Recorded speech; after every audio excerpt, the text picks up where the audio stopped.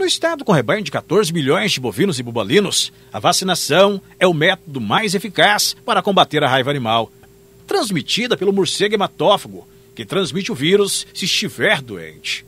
Ele se alimenta de sangue e transmite a doença por meio da saliva dele. Outra forma menos comum é através da agressão de cães e gatos por animais selvagens. Não adianta sair matando morcego à torta e à direita, não, até porque princip... o principal é uma espécie só, e é a espécie que a gente chama de hematófago, que é o que chupa sangue, e ele não transmite se ele não estiver doente. Então também não adianta a gente sair por aí querendo matar tudo que é morcego, porque não são todos os morcegos, e nem todo morcego que chupa sangue vai transmitir a raiva. Que tipo de cuidado deve ser adotado?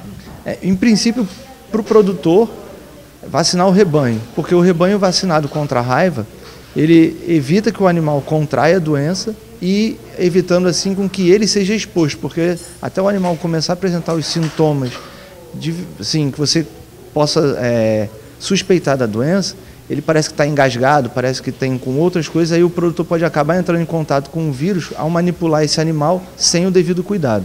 A doença é transmitida ao homem por meio da saliva do animal contaminado, podendo ocorrer também através de mordedura, arranhões e lambidas em ferimentos da pele ou nas mucosas da boca, nariz e olhos. Os principais sintomas são isolamento do restante do rebanho, salivação constante, dificuldade para urinar e defecar, andar cambaleante, paralisia das patas traseiras, queda constante e dificuldade para levantar, movimento de pedalagem, sonolência, aparência de animal engasgado e óbito que ocorre de 3 a 5 dias. Uma vez contaminado com o vírus da raiva, esse animal vai transmitir o vírus pela saliva e o produtor que vai lá cuidar do seu animal pode ter contato com essa saliva e contrair o vírus.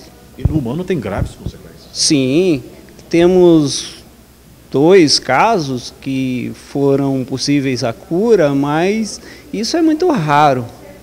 Seria uma sorte de loteria. A doença que não tem cura pode matar. A vacinação contribui para a prevenção do rebanho. Em menos de um mês, dois casos suspeitos foram registrados em Nova Brasilândia, na Zona da Mata. Um agora, em agosto, e o último no mês de julho. Todos monitorados pela Idaron.